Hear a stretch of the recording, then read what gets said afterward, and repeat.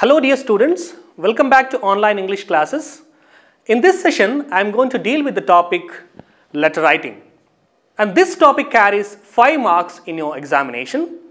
Well, in this session, we will be discussing what letter writing is all about, the types of letters, the format and we will be focusing only on the formal letters because only formal letters are prescribed in your workbook.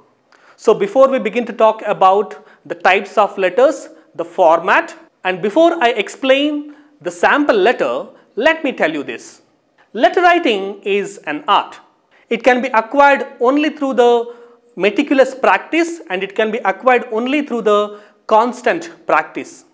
Like all other arts, this art also has a tradition of its own and a universally accepted form has been evolved through many generations. Adhering to this form is helpful in two ways. It is convenient because it is time tested. It is because of the format, it is because of the form of the letter, the reader or the receiver of the letter knows where to expect certain essentials of the letter like the name and address of the sender, the date of the letter, the subject and its content at a glance. Let's say for example, if you are writing a letter in your own way, in your own method without following any format, your reader or the receiver of the letter would find it very difficult to identify the essentials of the letter and he may have to search for the details, he may have to search for the essentials at a glance. Secondly, it presents a neat appearance. The beauty of the letter lies in its physical appearance as well as in its wording, the choice of words and presentation. The external beauty of the letter contributes to its overall effect on the readers or the receiver of the letter. So the proper layout, correct punctuations, the selection of words, the choice of words and appropriate spacing and margin will create a wholesome effect on the reader or the receiver of the letter. Exchanging letters through post has taken a backseat with the advent of modern technology. But the style of communicating through letters still persists in the form of emails. Letter writing is an intricate task as it demands a meticulous attention. Nevertheless, students can fetch good marks if they are careful about what is being written, if they are careful about the format of the letter, if they really understand the format of the letter. From the examiner's point of view, the goal of letter writing is the analysis of the writing skills of the students. But from students' perspective, the aim of letter writing should be like the letter should fill the communication gap between the sender and receiver of the letter. The letter should send out a message and it should create feelings. If it is informal letter, it should create feelings. It should create awareness and it should provoke thoughts in the reader's mind. So each letter that is written can have different objectives depending on its type. So let us understand the types of letters. Letter writing can be classified into two types. They are formal letters and informal letters. In this session, as I already told you, in this session, we will be focusing only on formal letters because only formal letters are prescribed in your workbook. So what is a formal letter? Letters which follow certain formality and a set pattern are called formal letters. Such letters are precise and directly addressing the concerned issue and they are strictly professional in nature. Formal letters are short and to the point. Now let us understand the format of formal letters. So this is the format which you need to follow now let me just run you through this format which you should not deviate from because the format itself carries marks. Out of 5 marks, the format carries 2 marks and the matter that is the content in the body of the letter which you have to write in 3 paragraphs not more than that carries 3 marks. So how you understand the format and how you write the format matters a lot. Now once you get the format of formal letters, what kind of letters you will get? Now there are 8 to 9 formal letters are prescribed in your workbook. They are leave application, application for TC and migration, application for closing, opening and transfer of a bank account, complaint letters, letters seeking information, letters giving information, invitation letters, etc. And it could be a letter to the editor of the newspaper complaining about the menace of flowing garbage, flowing sewage lines, and too many electricity cables are running that needs to be addressed. Or it could be a letter to the Commissioner of Municipal Council of your city. Or it could be a letter to the principal of your college or school requesting him or her to issue transfer certificate or migration certificate. So these are all the formal kinds of uh, letters in which no informality can be introduced. So let me just run you through this format. A formal letter includes nine elements. They are, the first one is the sender's address and this is what we call from address. The second one is the date line and the next one is inside address and this is what we call to address. Next comes the salutation and the fifth one is subject line and next comes the body of the letter.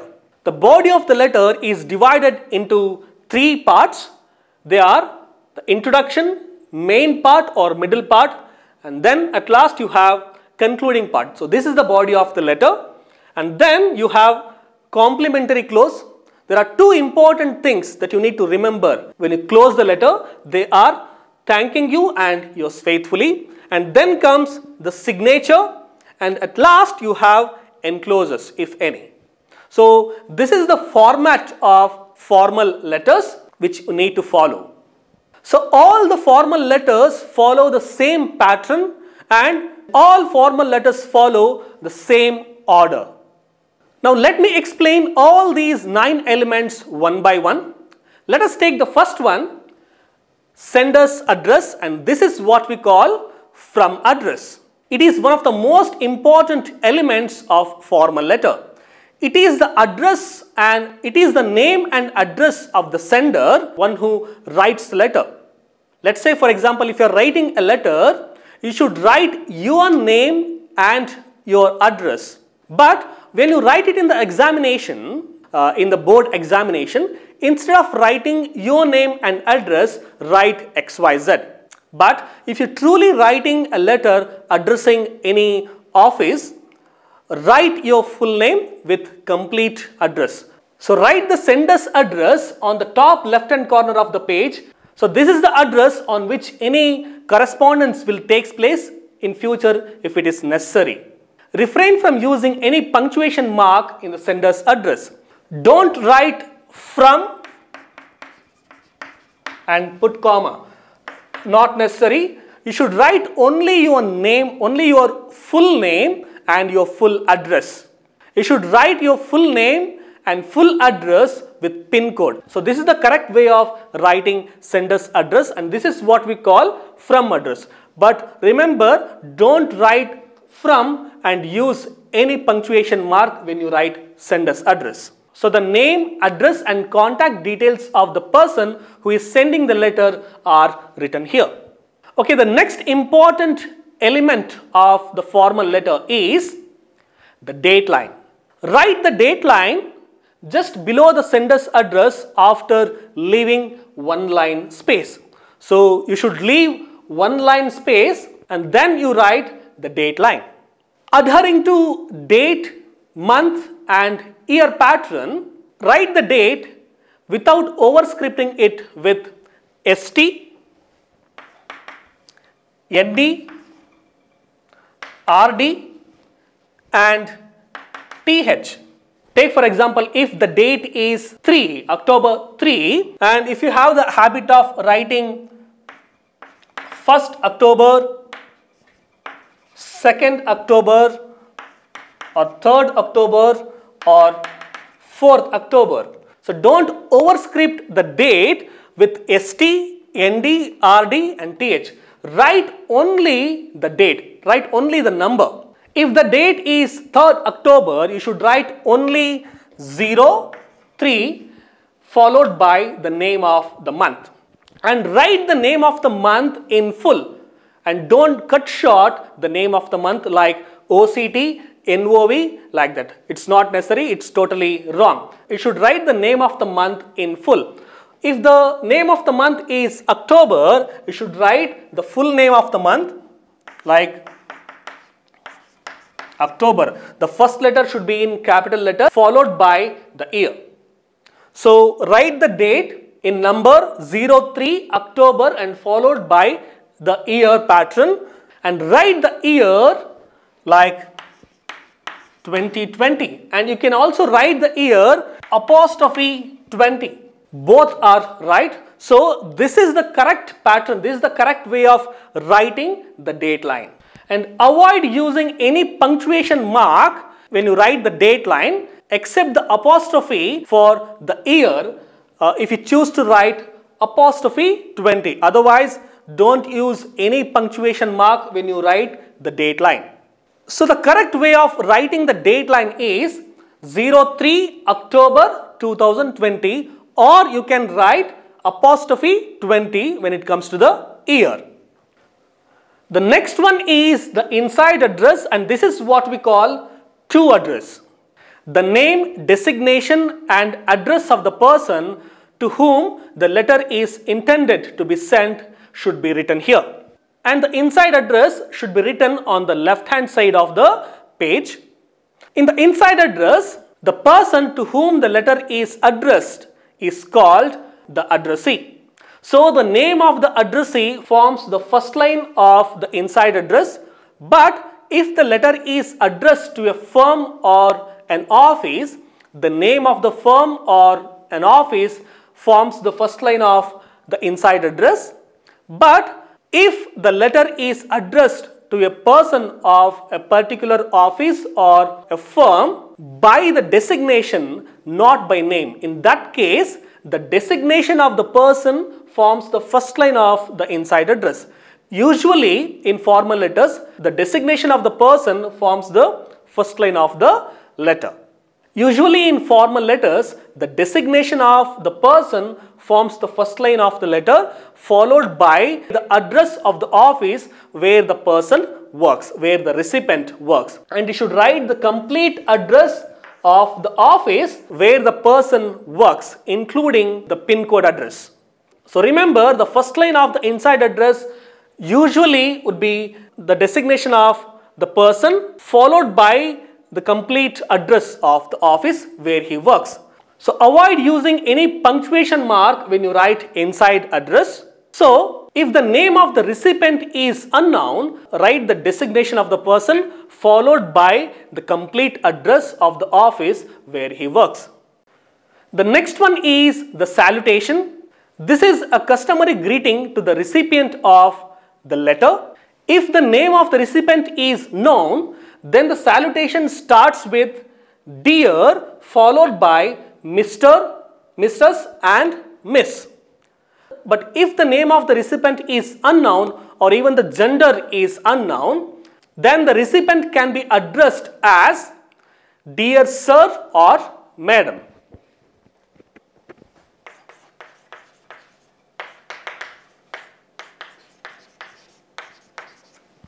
So if, if the name of the recipient is unknown or even the gender of the person is unknown, then the recipient can be addressed as dear sir or madam.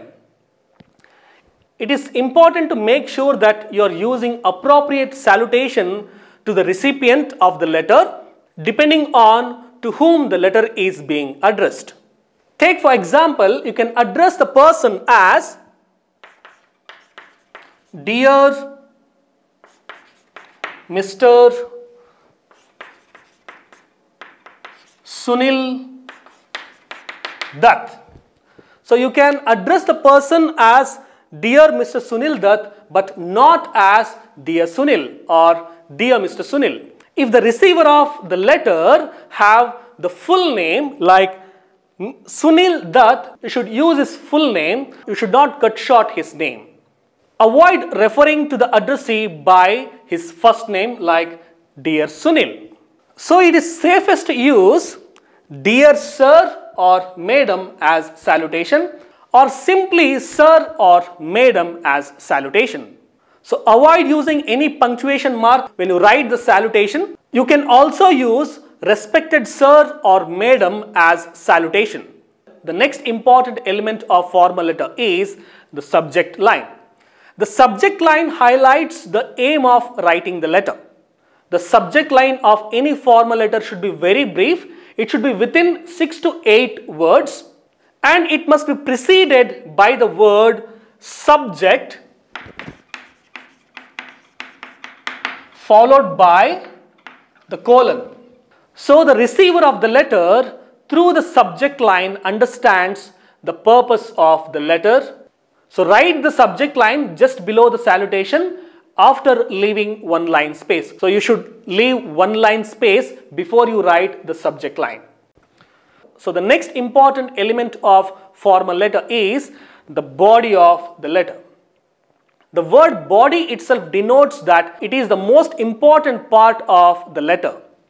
So it may be broadly divided into three parts. They are introduction, main part or middle part and concluding part.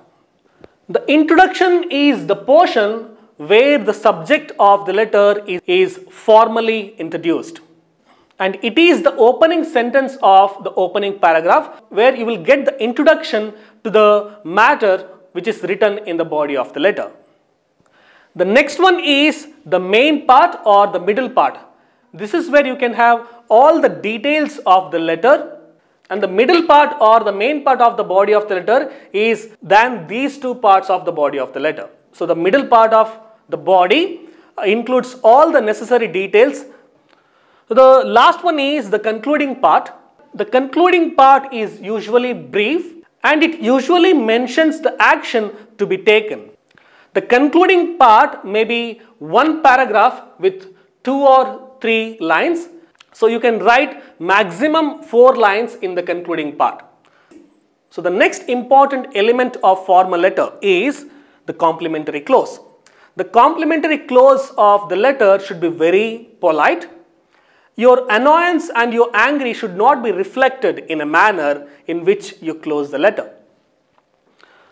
As I already told you, there are two important things that, that you need to remember here. They are thank you and yours faithfully. So once you complete the body of the letter, leave two line space here and then you write thank you in the left hand side of the page just below the body of the letter. So write thank you first. The first letter should be in capital letter and next you should write yours faithfully. Remember there is no apostrophe in yours and the second word faithfully is not capitalized. There is no any capital letters in the second word and the first letter of the second word that is F is not capitalized. So you should not use capital letter in the second word. So the appropriate way of writing complimentary clause is yours faithfully. After yours, you should leave one space and then you write faithfully. F should be in small letter. Along with faithfully, you can also write yours truly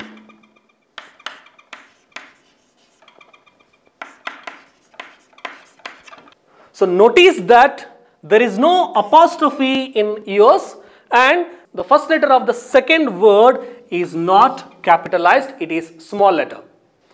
Avoid using any punctuation mark when you write the complimentary clause like thank you or yours faithfully. So write thank you just below the body of the letter after leaving two line space and write yours faithfully or yours truly just below the phrase thank you without leaving any space. So both of these things come together without leaving a space. So the next one is the signature.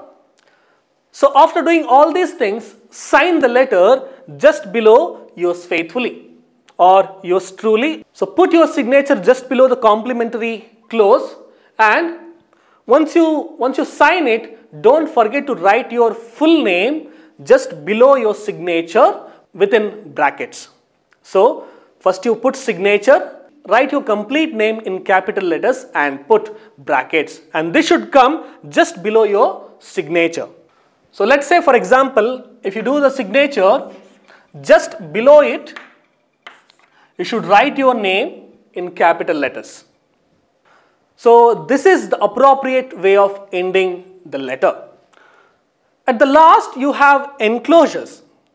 If you have any supportive documents that you need to attach to the main letter, you, you can attach the copies of relevant documents with the main letter. If you have more than one document, don't forget to mention the number of document like 1, 2. So this is the format that you need to follow. So dear students, I'll conclude my session here. I'll meet you in my next video. Thank you.